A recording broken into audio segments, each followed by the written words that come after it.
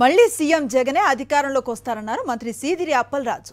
ఐదేళ్ళలో ఏపీని చాలా అభివృద్ధి చేశామన్నారు.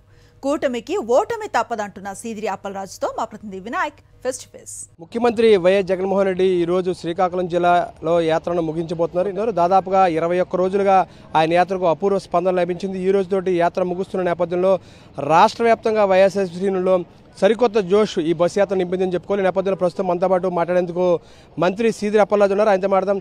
సార్ ఎటువంటి జోష్ నింపింది ఈ యాత్ర ద్వారా? అటు ప్రజల్లో కావచ్చు ఇటు వైఎస్ఆర్సీపీలో కావచ్చు ఏ విధమైన జోష్ వచ్చిందంటే ఏం చెప్తారు? ఖచ్చితంగా నన్ను అడిగితే జగన్మోహన్ రెడ్డి గారు ఒక ట్రెండ్ సెట్టర్ అండి. ఎందుచేతంటే గతంలో రాజశేఖర రెడ్డి గారి స్ఫూర్తితో జగన్మోహన్ రెడ్డి గారు చేసినటువంటి ఒక అపూర్వమైనటువంటి పాదయాత్ర ప్రజా సంకల్ప యాత్ర. ఆ యాత్రలో కొన్ని కోట్ల మంది హృదయాలు నేరుగా టచ్ చేసినటువంటి వ్యక్తి జగన్మోహన్ రెడ్డి గారు. సో తర్వాత ముఖ్యమంత్రి కావడం ముఖ్యమంత్రి హోదాలో మళ్ళీ పాదయాత్ర చేయటం అనేది టెక్నికల్గా సాధ్యపడదు కాబట్టి.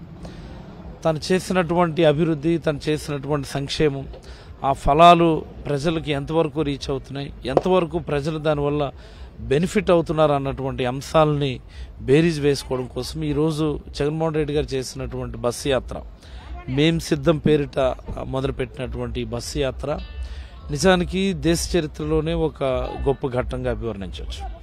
రాష్ట్ర వ్యాప్తంగా ఉన్నటువంటి కోట్ల మంది ప్రజలు ఆయన యాత్రను అనుసరించడం ఈ ఐదేళ్ళ కాలంలో వాళ్ళకి జరిగినటువంటి మంచిని వివరించడం ఈ ఐదేళ్ళ కాలంలో ప్రతి గ్రామం ఎలా అభివృద్ధి చెందింది ప్రతి పట్టణం ఎలా అభివృద్ధి చెందింది బై లార్జ్ స్టేట్కి సంబంధించినటువంటి ఇన్ఫ్రాస్ట్రక్చర్ వర్క్స్ అభివృద్ధి కార్యక్రమాలు ఎలా చేయగలిగామన్నటువంటి అంశాలు ఈ బస్సు యాత్రలో ప్రధానంగా హైలైట్ కావటం ప్రజలందరికీ రీచ్ కావటం.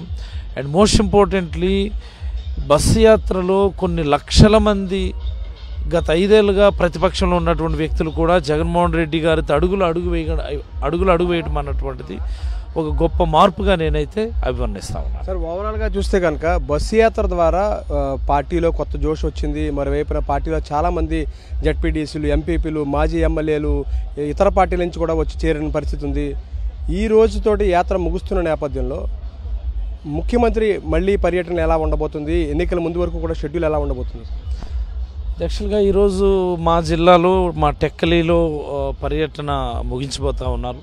అతి భారీ బహిరంగ సభ తర్వాత.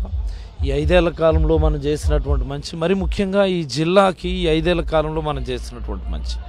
మీరు ఒక విషయం గమనిస్తే శ్రీకాకుళం అంటే వలసల మీద ఆధారపడేటటువంటి జిల్లాగా ప్రతివాడు కూడా చెప్తూ ఉంటాడు.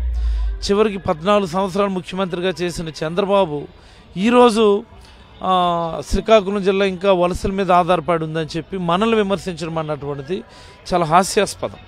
వలసలు నివారించాలని జగన్మోహన్ రెడ్డి గారు ఈరోజు ఒక భావనపాడు పోర్ట్ కావచ్చు భోగాపురం ఇంటర్నేషనల్ ఎయిర్పోర్ట్ కావచ్చు విశాఖపట్నం ఎగ్జిక్యూటివ్ క్యాపిటల్ కావచ్చు ఒక మత్స్యకారుల కోసం ఒక హార్బర్ కావచ్చు జట్టీలు కావచ్చు రైతుల కోసమైన ఒక హిరమండలం లిఫ్ట్ ఇరిగేషన్ స్కీమ్ కావచ్చు. లైక్ వైజ్ ఈ జిల్లాని సమున్నతంగా సర్వతోముఖాభివృద్ధి అభివృద్ధి చేయాలని చెప్పి అనేకమైనటువంటి అభివృద్ధి కార్యక్రమాలని టేకప్ చేయటం జరిగింది. సో ఆ అంశాలను కూడా ఈరోజు ప్రజలందరికీ వివరించేటటువంటి అవకాశం ఉందని నేను భావిస్తూ ఉన్నాను. ఈ జిల్లా ఇతర జిల్లాలతో పోటీ పడగలిగేటటువంటి అవకాశాలను సృష్టించినటువంటి నాయకుడు శ్రీ వైఎస్ జగన్మోహన్ రెడ్డి గారు. ఈ జిల్లా ఇతర జిల్లాల కంటే ముందంజలో వెళ్ళడానికి అవసరమైనటువంటి మార్గాన్ని చూపినటువంటి నాయకుడు శ్రీ వైఎస్ జగన్మోహన్ రెడ్డి గారు.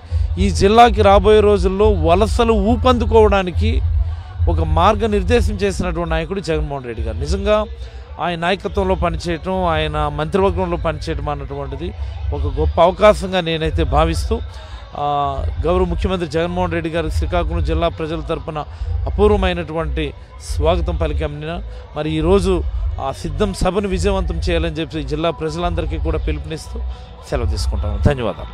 మొత్తంగా మనం చూసుకోవచ్చు ముఖ్యమంత్రి వైఎస్ జగన్మోహన్ రెడ్డి యాత్ర సూపర్ సక్సెస్గా నిలిచింది. ఈ నేపథ్యంలోనే కనివిని ఎరిగిన రీతిలో దాదాపుగా ఇరవై రెండు రోజుల పాటు కూడా ఈ యాత్ర కొనసాగి ఈరోజు శ్రీకాకుళం జిల్లాతో ముగుస్తుంది. కనివిని ఎరుగని రీతిలో ఈ యాత్ర కొనసాగింది. ముఖ్యమంత్రి వైఎస్ జగన్మోహన్ రెడ్డి క్యాబినెట్లో తాను మంత్రిగా కూడా ఉండడం చాలా అదృష్టంగా సీదిరాపురంలో భావిస్తున్నారు. వీడియో జర్నలిస్ట్ శివత కలిసి వినాయకరావు సాక్షి టీవీ అక్కివాల్సి నుంచి.